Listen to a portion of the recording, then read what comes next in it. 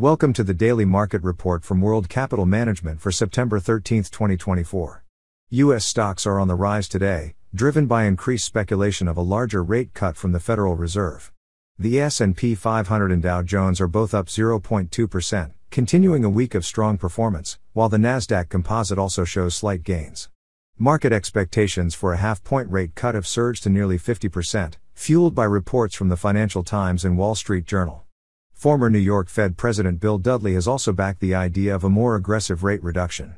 Treasury yields are slipping as the 10 year bond falls to 3.66%, signaling reduced pressure from rising rates. Meanwhile, consumer sentiment is improving for a second straight month, hitting a peak not seen since May, with inflation expectations at their lowest since 2020. Long term inflation outlooks, however, remain slightly elevated. In corporate news, Adobe shares dipped following a weaker than expected outlook, while Oracle continues to rally on cloud growth forecasts. Boeing is experiencing setbacks due to a strike among its factory workers in Seattle. At World Capital Management, we specialize in exponential growth investing.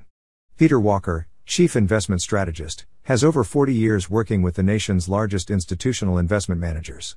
We aim to secure a 40% compounded annual return while reducing long term market risk by half. For the 16 months ending July 11, 2024, our master account is up 110%. If you are an accredited investor and find this opportunity appealing, please contact us. This report is provided for informational purposes only and does not constitute investment advice or an offer to buy or sell securities.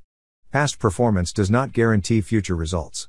World Capital Management is a registered investment advisor serving accredited investors interested in maximizing their portfolio returns.